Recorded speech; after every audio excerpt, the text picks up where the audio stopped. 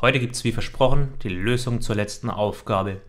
Wir hatten eine Methode weiter um und weiter um sollte weiterzählen, entweder um Stunden oder Minuten.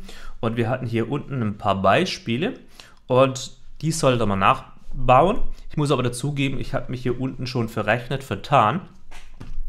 Das werden wir später noch sehen, aber schauen wir uns mal die Lösung an.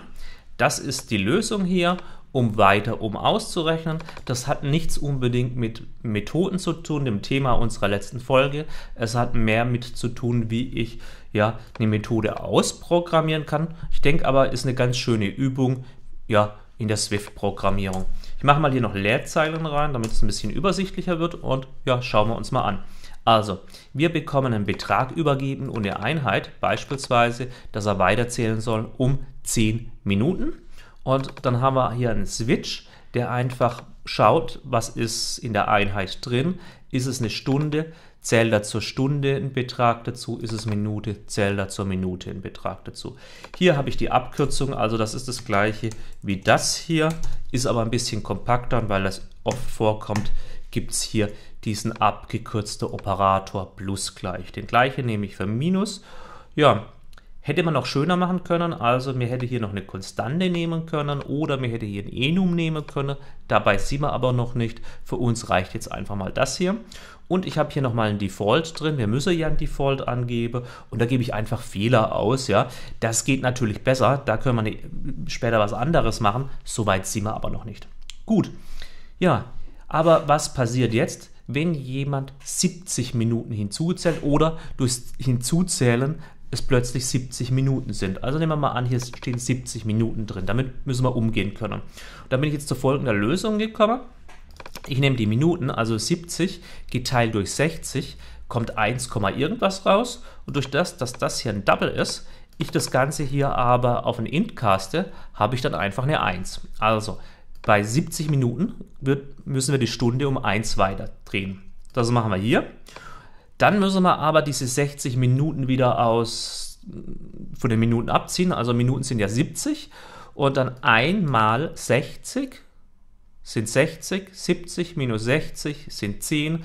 Also wunderbar, wenn die Minuten auf 70 stehen, soll die Stunde 1 vorgedreht werden und es sollen 10 Minuten drin stehen. Was machen wir, wenn wir über die 24 Stunden kommen? Nehmen wir mal an, die Stunden stehen bei 25. Da habe ich das Prozent, das ist Rest der Division, den Modular-Operator. 25 durch 24 ist 1 und ein paar zerquetschte oder 1 Rest 1.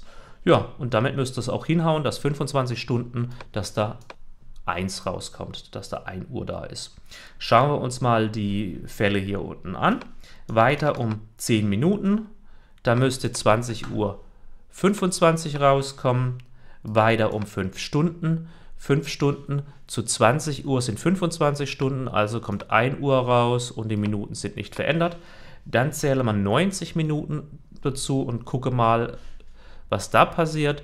Und bei 90 Minuten ja, passt auch eine Stunde und 30 geht da weiter. Ja, jetzt gucken wir vielleicht nochmal, was passiert, wenn ich genau hier 5, 10 Minuten nochmal dazu addiere. Das kann ich ja einfach hier machen, ob er dann wirklich 3.05 Uhr rauskriegt und 3.05 Uhr. Wunderbar. Also soweit. Sieht so aus, wie wenn die Lösung funktioniert. Ich muss aber zugeben, das war wesentlich schwerer, als ich gedacht habe. Einfach ein harmloses Problem, aber das mit der Uhr, mit dem Übertrag und so weiter und sieht jetzt auch recht kompakt aus. Also meine erste Lösung war wesentlich größer als diese hier.